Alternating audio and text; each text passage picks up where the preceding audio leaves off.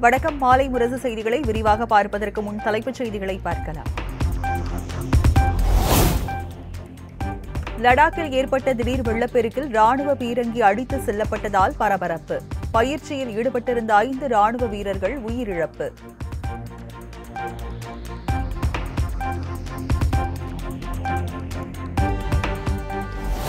லடாக்கில் உயிரிழந்த ராணுவ வீரர்களின் குடும்பத்தினருக்கு பாதுகாப்புத்துறை அமைச்சர் ராஜ்நாத் சிங் இரங்கல்.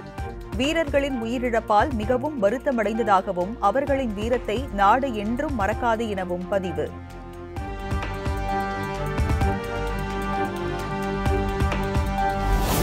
மூன்று நாள் சிபிஐ காவல் நிறைவடைந்த நிலையில் டெல்லி ரோசவன்யூ சிறப்பு நீதிமன்றத்தில் கெஜ்ரிவால் ஆஜர். ஜூலை பனிரெண்டாம் தேதி வரை காவலை நீட்டித்து நீதிபதிகள் உத்தரவு.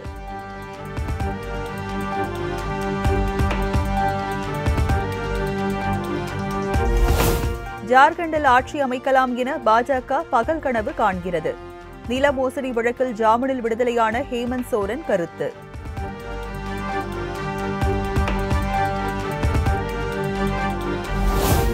டெல்லியை தொடர்ந்து குஜராத்திலும் விமான நிலைய மேற்கூரை இடிந்து விழுந்து விபத்து. நல்வாய்ப்பாக யாருக்கும் பாதிப்பில்லை என அதிகாரிகள் தகவல்.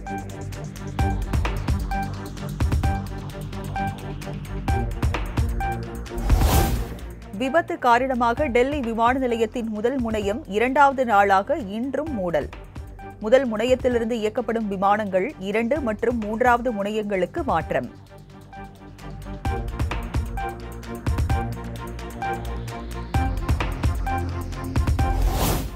ஆந்திர மாநிலம் கிழக்கு கோதாவரி ஆற்றில் குதித்து தற்கொலைக்கு முயன்ற பெண். சினிமா பாணியில் படகில் விரைந்து சென்று காப்பாற்றிய மீனவர்கள்.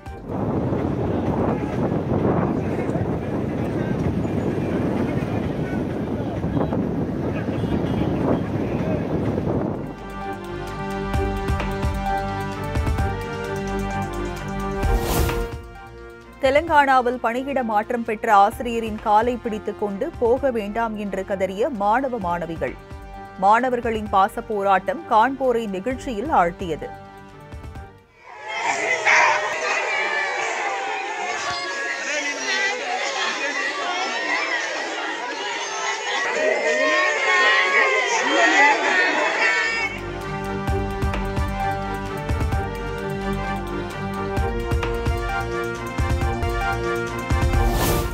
தமிழ்நாட்டில் பூரண மதுவிலக்கு கொண்டு வரும் சூழலே இல்லை. சட்டப்பேரவையில் மதுவிலக்கு ஆயத்துறை அமைச்சர் முத்துசாமி திட்டவட்ட அறிவிப்பு.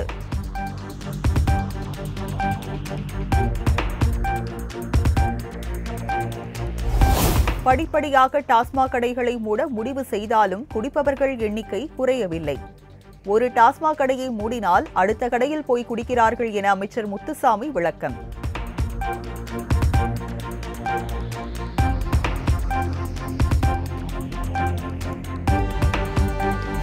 மதுவிலக்கு திருத்த சட்ட முன்வடிவை அமைச்சர் முத்துசாமி பேரவையில் தாக்கல் செய்த நிலையில் ஒருமனதாக நிறைவேற்றம்.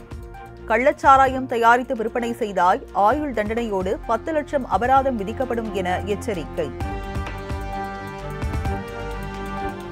இருபத்தி நான்காம் ஆண்டு தமிழ்நாடு மதுவிலக்கு திருத்த சட்ட முன்வடிவை அறிமுகம் செய்ய அனுமதி கோருகிறேன். மாண்புமிகு வீட்டரசு மற்ற நகர்ப்புற பேராயணம் முடிவுக்கு விடப்படுகிறது. ஏற்போர் ஆமன்க மறுப்போர் இல்லை என்கிற ஏற்போரே அதிகம் என்று கருதுகிறேன். ஏற்போரே அதிகம் தீர்மானம் நிறைவேறியது மாண்புக்கு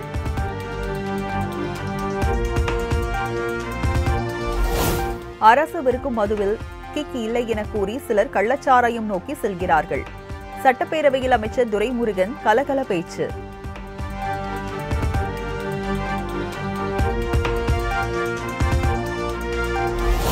வரக்கூடிய இரண்டு ஆண்டுகளில் பல திட்டங்களை தீட்டி இரண்டாயிரத்தி இருபத்தி ஆறு சட்டமன்ற தேர்தலிலும் திமுக ஆட்சியை பிடிக்கும். சட்டப்பேரவையில் முதலமைச்சர் மு ஸ்டாலின் நம்பிக்கை. இருபத்தி ஆறாம் ஆண்டு சட்டமன்ற தேர்தலிலும் மகத்தான வெற்றியை நாங்கள் பெறுவோம்.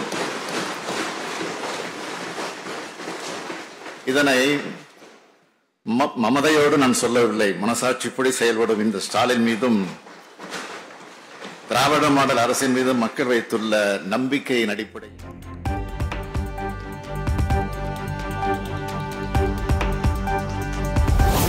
விஷச்சாராய மரண விவகாரத்தில் எடுக்கப்பட்ட நடவடிக்கை என்ன என்பதை மீண்டும் பேரவையில் பட்டியலிட்டார் முதலமைச்சர். நடவடிக்கை எதுவும் எடுக்கவில்லை என எதிர்க்கட்சித் தலைவர் கூறுவது திசை திருப்பும் செயல் என சாடல். இப்படிப்பட்ட நடவடிக்கைகளை இருபத்தி நாலு மணி நேரத்தில் எடுத்துள்ளோம். இதன் பிறகும் நடவடிக்கை சரியில்லை என்று சொல்வது அவர்கள் நடத்தும் திசை திருப்பல் நாடகம். எதை மறைத்தோம் என்று சிபிஐ விசாரணை கேட்கிறார்கள்.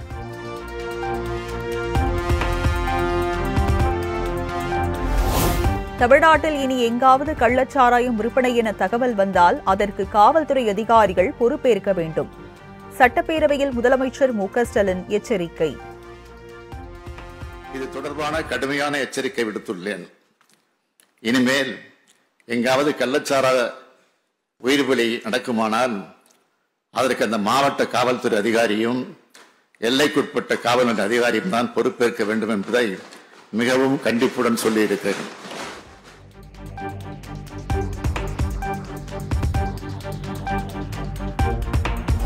சாத்தான்குளம் லாக்அப் மரணம் குறித்து சிபிஐ விசாரணை கோரியது ஏன் என முதலமைச்சர் மு ஸ்டாலின் பேரவையில் விளக்கம். கோடநாடு வழக்கில் எட்டாயிரம் பக்கம் கொண்ட ஆய்வறிக்கை பெறப்பட்டுள்ளதாகவும் முதலமைச்சர் மு ஸ்டாலின் தகவல். சாத்தான்குளம் சமூகத்தில் ரெண்டு பேர் கொல்லப்பட்டதற்கு சிபிஐ விசாரணை கேட்டீர்களே என்று மாண்புமிகு எதிர்க்கட்சி தலைவர் பேட்டியளித்திருக்கிறார் மனித மனித உயிர்கள் இறந்து போனால் ரெண்டு பேரா இருபது பேரா என்று பார்ப்பதில்லை. ஒரே ஒருவர் இறந்தாலும் அது மாபெரும் இழப்புதான்.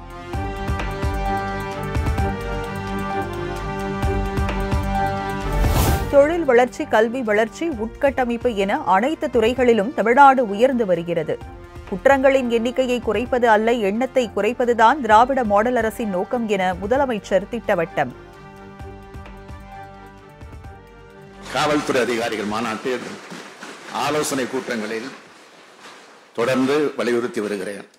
குற்றங்களின் எண்ணிக்கையை குறைப்பதல்ல. குற்ற எண்ணத்தை குறைப்பது. காவல்துறையின் பணியாக இருக்க வேண்டும் என்றெல்லாம் கட்டளையிட்ட வகையில்.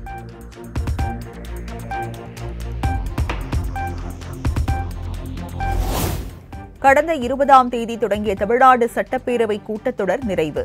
பேரவையை தேதி குறிப்பிடாமல் ஒத்திவைத்தார் சபாநாயகர் அப்பாவு. கூட நாள் குறிப்பிடப்படாமல் ஒத்திவைக்கப்படுகிறது வணக்கம். பேரவை முன்னர் அவர்களின் தீர்மானம் பேரவையின் முடிவு கூறப்படுகிறது. ஏற்போராம் என்க மறுப்போர் இல்லை என்க ஏற்போரே மறுப்போரே இல்லை என்று கருதுகிறேன். மறுப்போரே இல்லை. தீர்மானம் ஒருமனதாக நிறைவேறியது. பேரவை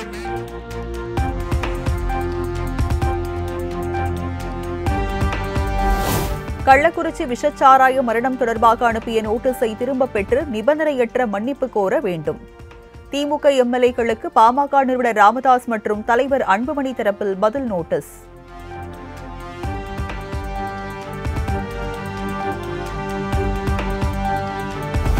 நெல்லை மாஞ்சோலை பகுதி மக்கள் மற்றும் தொழிலாளர்களின் வாழ்வாதாரம் பாதுகாக்க வேண்டும். சட்டப்பேரவையில் காங்கிரஸ் பாஜக காங்கிரஸ் பாஜக விசிக மதிமுக ஆகிய கட்சிகள் சார்பில் கவன ஈர்ப்பு தீர்மானம்.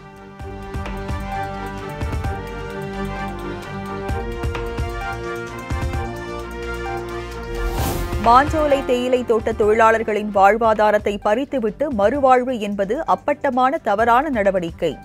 புதிய தமிழகம் கட்சித் தலைவர் கிருஷ்ணசாமி குற்றச்சாட்டு.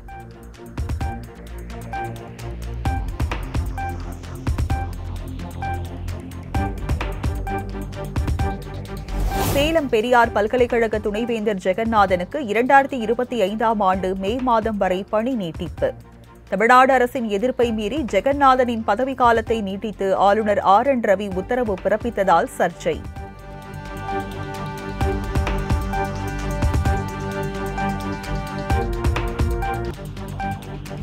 சட்டவிரோதமாக பின்வாசல் நியமனங்கள் நாட்டில் உள்ள லட்சக்கணக்கான வேலையில்லா இளைஞர்களுக்கு பாதிப்பை ஏற்படுத்தும். தினக்கூலி அடிப்படையில் நியமிக்கப்பட்டவர்களுக்கு பணி நிரந்தரம் வழங்க பிறப்பித்த உத்தரவை ரத்து செய்ய கோரிய வழக்கில் நீதிபதிகள் கருத்து.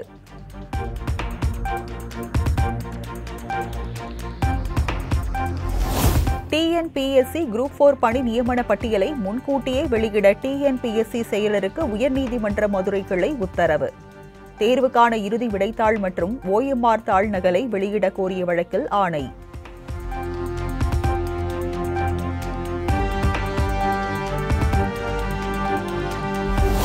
சென்னை சைதாப்பேட்டையில் வசித்த பீகாரை சேர்ந்த பதினோரு வயது சிறுவன் உயிரிழப்பு.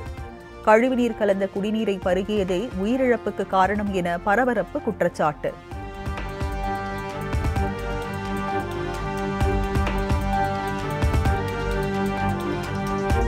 சென்னையில் ஆன்லைன் பங்கு வர்த்தக முதலீடு மோசடியில் ஈடுபட்ட இருவர் கைது.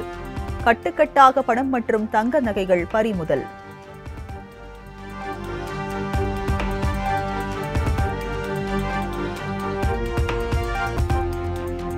வேளாண் மற்றும் உழவர் துறையில் தேர்வான நூற்று முப்பத்தி மூன்று பேருக்கு பணி நியமன ஆணை.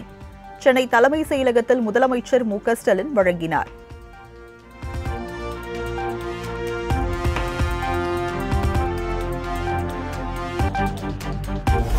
கனமழையால் நீலகிரி மாவட்டம் புளியம்பாறை பகுதியில் ஏற்பட்ட காட்டாற்று வெள்ளம். வெள்ளத்தில் சிக்கி மக்களை கயிற்றை கட்டி மீட்டு முகாம்களில் தங்க வைத்த பேரிடர் மீட்பு படையினர்.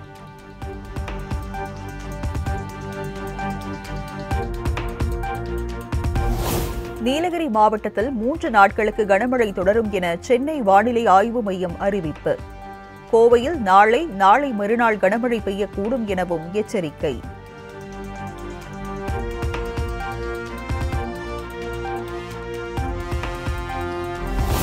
டெஸ்ட் கிரிக்கெட் வரலாற்றில் அறுநூறு ரன்களை கடந்த இந்திய மகளிர் அணி சாதனை. தென்னாப்பிரிக்கா அணிக்கு எதிரான போட்டியில் மகளிர் அணி அபாரம்.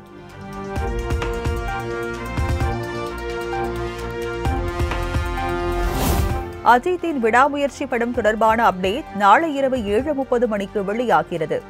லைகா தயாரிப்பு நிறுவனத்தை குறிப்பிட்டு எக்ஸ் தளத்தில் அஜித்தின் மேலாளர் சுரேஷ் சந்திரா பதிவு.